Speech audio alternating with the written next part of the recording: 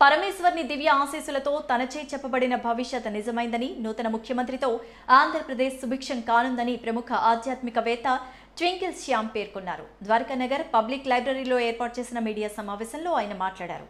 ఆంధ్ర రాష్ట్రంలో వైకాపా నూట ఇరవై ఐదు స్థానాలపైన గెలుపొందుతుందని జనసేన పోటీయే కాదని ఒక్క సీటు కూడా సాధించడం కష్టమని ఎన్నికల ఫలితాల ముందు తాను చెప్పాన్ని అదే నిజమైందన్నారు. తాను స్వతహాగా ఏ రాజకీయ నాయకులను కలవనని తన వద్దకు వచ్చే నాయకులకు మాత్రం శక్తి వంచన లేకుండా ఉన్నది ఉన్నట్లుగా భవిష్యత్ చెప్తానన్నారు. ప్రస్తుతం గెలిచిన వారు జగన్మాత అమ్మవారికి పంచామృతాభిషేకం చేయించాలని చెప్పారు. జగన్ పాలన పాలనలో రాష్ట్ర ప్రజలు సుభిక్షంగా ఉంటారన్నారు. మన దేశంలో రాజకీయం ఒక జోదం. ధనవంతుడికి మాత్రమే అందుబాటులో ఉండేటటువంటి ఒక క్రీడగా ఈరోజు పాలిటిక్స్ మారిపోయి అదన్నీ కూడా మీకు తెలుసు. ముఖ్యంగా ఈ కార్యక్రమాన్ని తలచి నేనైతే అంటే నాకు గాజువాక్లోనైనా ఎక్కడైనా గౌరవ విలేకరులు అంటే చాలా గౌరవం అభిమానం. అది మీరు మీ గాజువాక్ వాళ్ళని అడిగితే చెప్తారు. నేను మృత్యు అంచుల దాకా వెళ్ళొచ్చాను ఈ కార్యక్రమం తలచిన నేను నాలుగు నెలల్లో కూడా.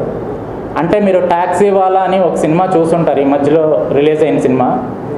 ఈ అంతరాత్మల మీద ఏదైనా ఒక కార్యక్రమం చేపట్టినప్పుడు సోల్మేట్ కార్యక్రమంలో గతంలో జరిగింది తెలుసుకోవడానికి ప్రయత్నం చేసిన భవిష్యత్తు తెలుసుకోవడానికి మనం ప్రయత్నం చేసిన ఒక్కొక్కసారి అక్కడికి వెళ్ళి తిరిగి వెనక్కి వచ్చే పరిస్థితి ఉండదు. అలాంటి పరిస్థితుల్లో రెండు మూడు సార్లు ఎమర్జెన్సీ పర్పస్లో హాస్పిటల్లో జాయిన్ అయిన సందర్భాలు కూడా గాజువాక్లో ఉన్నాయి. హాస్పిటల్ ప్రిస్క్రిప్షన్స్తో సైతం రిపోర్టింగ్తో సైతం. ఈరోజు పదవులు అనుభవిస్తున్నటువంటి అనుభవించబోతున్నటువంటి కొత్తగా వచ్చినటువంటి రాజకీయ నాయకులు ఈ కార్యక్రమాలు మీ ద్వారా వారికి తెలుసో తెలియకో తెలియదు కానీ కనీస సహ- సహాయం కూడా నాకు అందచేయలేదు.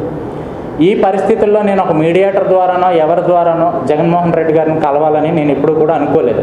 ప్రతి నెల ప్రస్తుత పరిస్థితుల్లో రాష్ట్రం దేశం సుభిక్షంగా ఉండాలంటే మీరు అప్పుడు అడిగారు పంచక్రతువులు అని చెప్పారు కదా ఏంటండి ఆ కార్యక్రమాలని?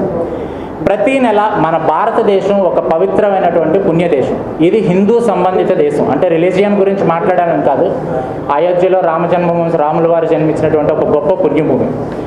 ఇక్కడ ప్రతి నెలలోని కూడా ఒక సంకటహార చతుర్థి అని చెప్పి వస్తుంది. ఆ ప్రతి నెలలోని కూడా ఇక్కడ ఎన్నికైనటువంటి రాష్ట్రంలో ఎమ్మెల్యేలు ఎవరైతే ఉన్నారో వాళ్ళందరూ కూడా ప్రతి నెల గణపతి ఆలయాల్లోనే సంకటహార చతుర్థి నాడు గణపతి హోమం నిర్వహించాలి. ఈ ప్రకృతి విపత్తులను కానీ అనుకూల పరిస్థితులుగా మనం మార్చుకోవడానికి ప్రతికూల పరిస్థితుల్ని పారద్రోలడానికి.